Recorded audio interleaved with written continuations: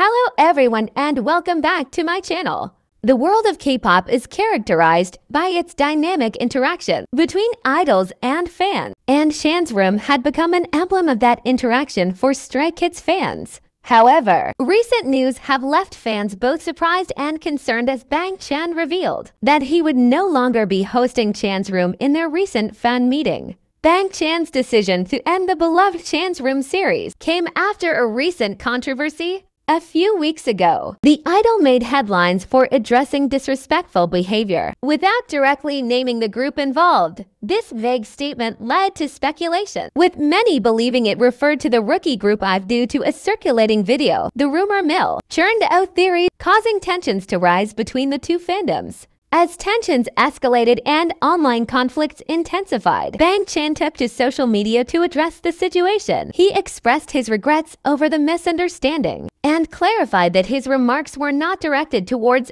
any particular group. Amidst the controversy, Bang Chan announced the end of his iconic Chan's Room series, leaving fans in a state of shock. Oh, um, I mean, because I can't do room anymore,